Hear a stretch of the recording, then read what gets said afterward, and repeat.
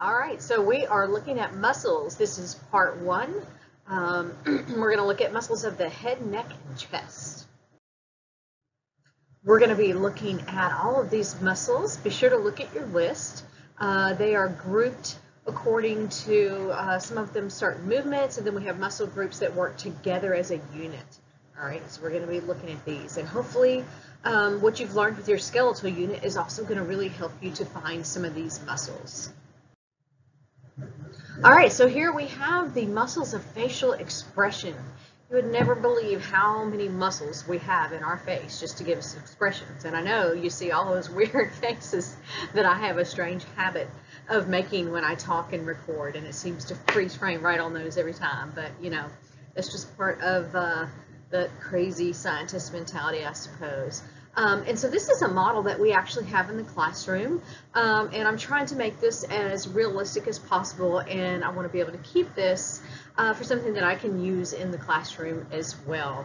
Um, and so I hope that you uh, enjoy this unit.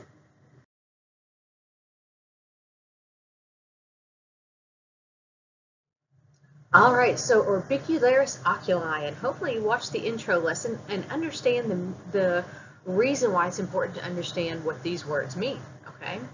And uh, orbicularis oculi, well, oculi obviously refers to the eye, and orbicularis basically means little circle. So this is a little circle around the eye, and it helps to close your eyelids.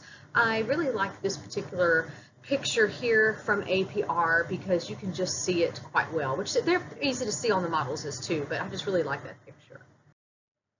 All right, so next we have the buccinator. I usually tend to pronounce it buccinator, uh, but it is technically, uh, I believe, buccinator. Um, say it however you want, as long as you can spell it, we're good, right? So this is uh, also kind of known as the trumpeter muscle.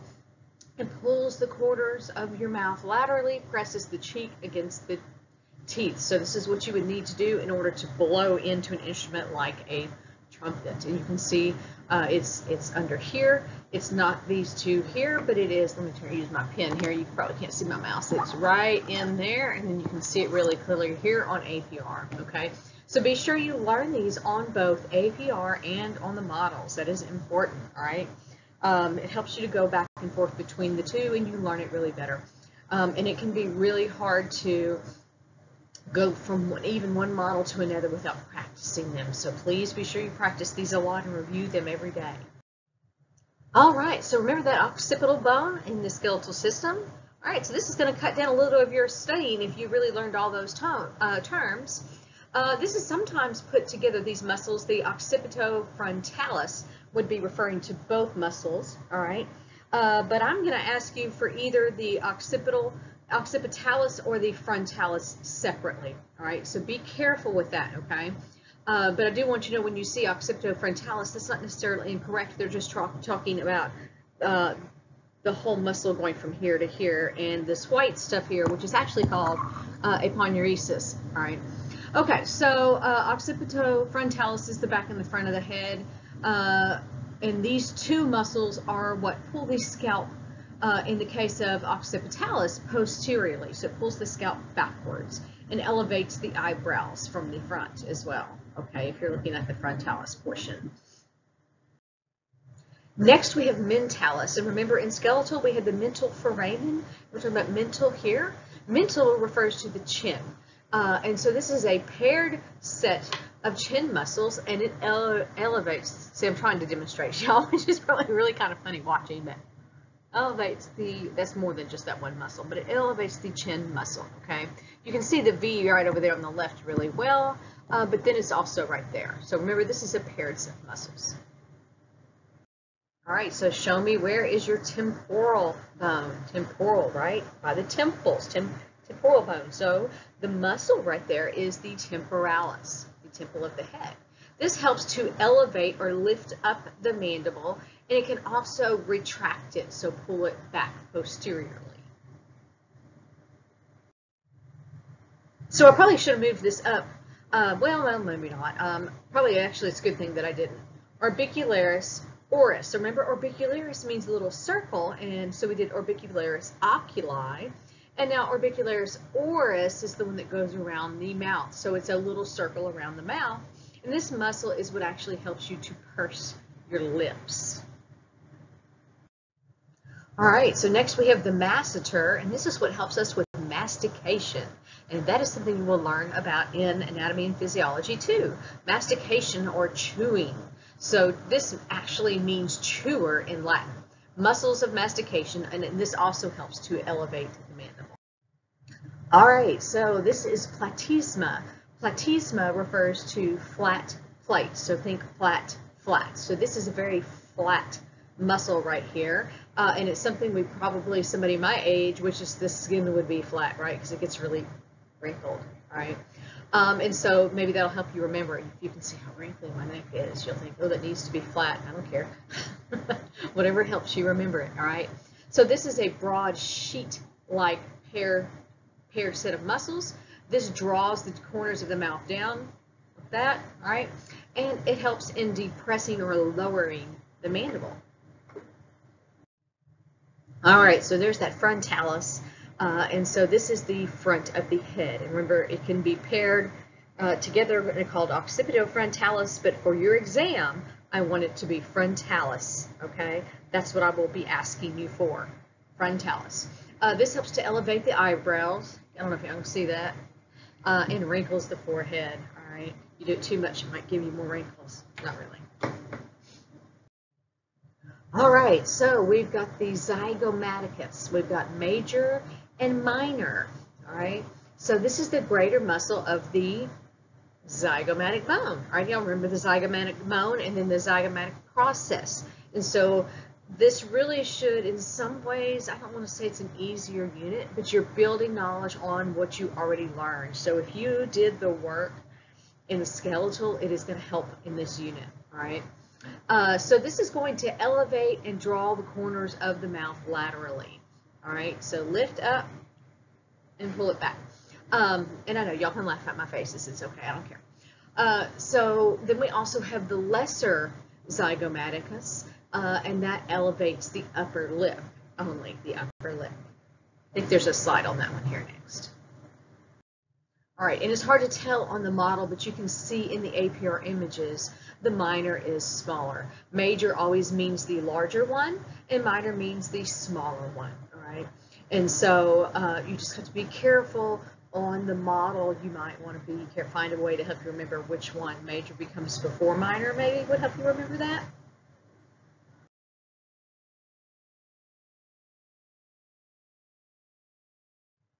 All right, so remember pterygoid, we had a pterygoid plate and it means wing-like. So medial means middle. So this is a wing-like muscle. Uh, it is going to elevate, or wing-shaped, I should say. It is going to elevate and protract the muscle to help do that. There's not usually just one muscle that performs an action. It's usually a group of muscles, and we actually have agonists um, and antagonist muscles, where one will contract and the other will need to release in order to uh, serve a specific function. And so they kind of work opposite of each other, but yet in conjunction. All right. And so you can see we have superior lateral pterygoid, superior belly of the lateral pterygoid, inferior belly of the lateral pterygoid, and then medial pterygoid. Okay. And so right here, you just need to know the medial pterygoid there. You can see that it, it kind of sits at an angle.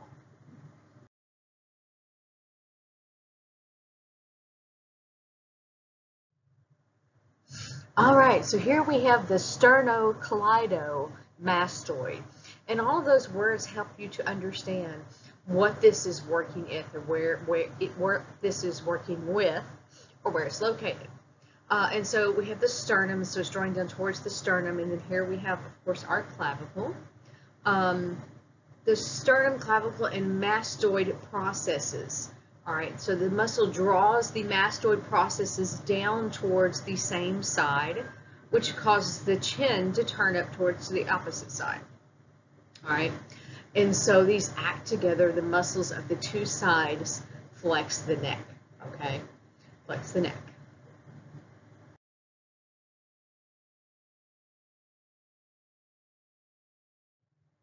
So you have probably heard of your traps before when we talk about muscles, trapezius. Uh, this means table-shaped. uh, and, it's, and it kind of forms a trapezoid. It's, it's kind of hard to see because of the angles here, but it basically, it's almost a, a diamond shape there. You can kind of see the outline here. It's a little harder to see because it's kind of sitting at an angle, all right? And here, this APR image is only showing you one side. Uh, so table-shaped is what this means. Uh, this elevates and depresses the scapula or the shoulder blade, uh, depending on which part of the muscle contracts. It can also rotate the uh, scapula superior or retract it, pull it back. All right, splenius uh, capitis. This means head patch, and so this is right here on the back of your head, and this is going to extend and laterally bend the neck and head and rotate the head uh, to the same side. Splenius capitis. So semi-spinalis capitis. Semi, of course, we think halves or two maybe. Spinalis, of course, along the spine. Uh, and then capitis, remember, means cap. So this extends the head and rotates it to the opposite side. It's on either, uh, the half of, of the head on either side of the spine. And it does what we call bilateral contractions. Uh, extension of the head, of course bilateral means two-sided. Extension of the head, uh, the cervical and thoracic spine as well. Uh, the top of the thoracic spine anyway. Um, for unilateral contraction, um, we're going to have some lateral flexion of the head, cervical and thoracic spine. We would call that ipsilateral. And rotation of the head, cervical and thoracic spine, contralateral, contralateral or opposite sides. Ipsilateral means same sides. Um, and I don't test you necessarily over what these movements do, uh, but it does really help you to understand them and know what they do. That is important. Um, if you have problems like you might, y'all may have noticed on the videos, uh, maybe you haven't, but uh, my head's a little bit crooked, right? Because I have issues with my cervical um, vertebrae and my head is shifted to the side, and so I have lots of issues with all of these muscles.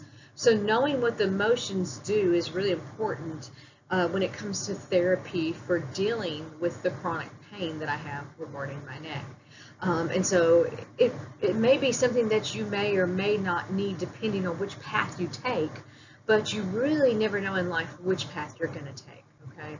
Some of you might be going on to be uh, PTAs or, or, or physical therapists or something like that, um, or you could wind up working in a doctor's office that specializes um, in orthopedics or something. And so kind of understanding which muscles do what is helpful. It helps me when I have problems and I need to stretch that I can go specifically and look up specific stretches for specific muscles that I know I'm having trouble with. Uh, for instance, I do have, not near as bad, but a little issues in my lower back, and so I know that those issues are related to uh, my SI or sacroiliac, um, and they are related to uh, the psoas muscle. And so I look up specific stretches for those and it helps me tremendously to know which muscle that I need to stretch and what it is performing. If you sit a lot, you can tend to have SI issues, okay? And so, like I said, I, I don't test you necessarily over knowing what they do, but understanding what these muscles do and how they work is, is important for you to know. All right, so next is erector spinae, and you need to remember as we're looking at this, and you can see pretty well in uh, this image right here, um, we're looking at layers of muscles here. We tend to think of just having one muscle and then, then bone, but we have layers of muscle and uh, fascia and things that, that, that come in layers. And so we have to be careful and try to think about what layers uh, we are looking at, okay? And so this is a erector spinae, and it's actually a group of muscles that go along your spine and help, of course, maintain your erect or upright status, okay? Um, these help extend and laterally bend the trunk, the neck, and the head, and they contain the group of uh, iliocostalis lumborum, iliocostalis thoracis, so lumbar, thoracic, iliocostalis cervicis for cervical, and then we have the iliocostalis lateral group, okay? And so these are groups of muscles that work together. Iliocostalis lumborum, thoracis, cervicis.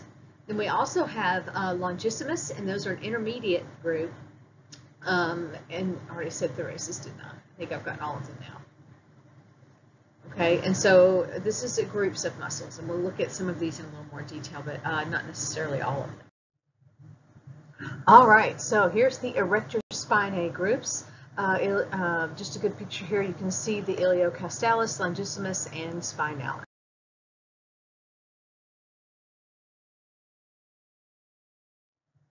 All right, so we have the um, greater rhombus, and a rhombus is an equilateral parallelogram. And this retracts, elevates, and rotates the scapula inferiorly, and you will see we also have a rhomboid minor. So of course major is going to be the larger one. All right, so here's the lesser rhombus, and you can see it is the smaller one. So it is on top, and then greater one is beneath. Uh, this also helps to retract, elevate, and rotate the scapula inferiorly. Latissimus dorsi, and for some reason I really like that word, latissimus, uh, but think lat or lateral. Um, and so these are on the sides, and a lot of times us older women really like to work on these uh, to try to get them um, uh, not flabby. Uh, and so latissimus dorsi means very wide back. You can see these are some wide, uh, long, lengthwise wide muscles, and these help with adduction, extension, and rotation of the arm. Next, we have the levator scapulae, and this just basically means scapula lifter. If it's the scapular lifter, it elevates the scapula. Here we have the serratus anterior. Serratus refers to sawtooth, and so anterior, of course, is in the front, and so these are the front sawtooth-shaped muscles. It draws the scapula, or they draw the scapula forward, and the inferior fibers rotate the scapula superiorly. Next, we have the pectoralis major, and so that should tell you that we are going to also have a pectoralis minor, all right? And so this is, you should know what your pecs are, right? Guys like to flex those a lot, uh, if they're young guys usually anyway. uh, these are your greater chest muscles. Uh, so this flexes and adducts the arm, add with a D, not abduct, take away, adduct, bring towards. So it, it brings the arm immediately rotating in. All right, so here is pectoralis minor. So this will be the smaller pec muscle, and you can see it is quite a bit smaller. It draws the scapula forward, medial, and downward. And You can see there's three little muscles there, four actually.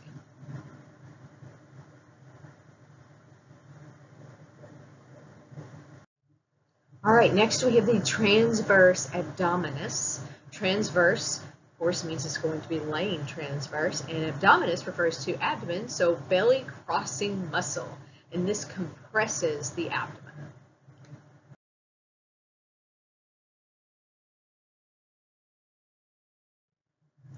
All right, so we have the intercostals. Uh, intercostal, uh, costal refers to co uh, cartilage, and inter means between, and then external toward, means towards the outside. So the extra, I'm sorry, external intercostals is the outer muscle between the ribs.